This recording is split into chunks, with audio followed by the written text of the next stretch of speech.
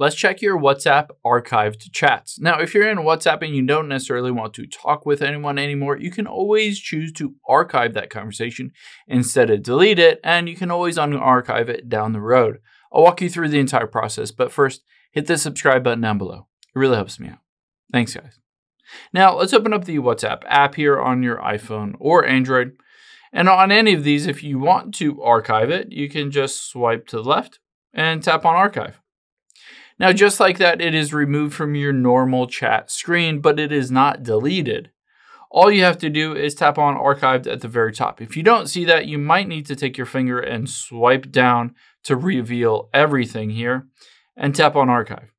So you can see at the very top is Trevor. That is what I just archived, the conversation with myself. I can choose to unarchive it by swiping to left and hitting unarchive.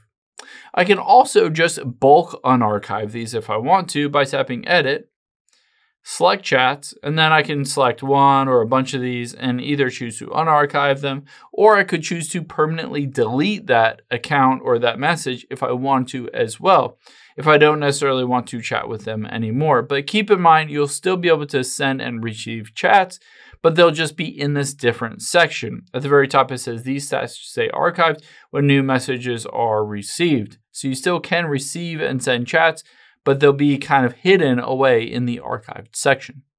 I hope this helps. If it did, hit the like button down below and leave a comment if you still have any questions. Thanks, guys.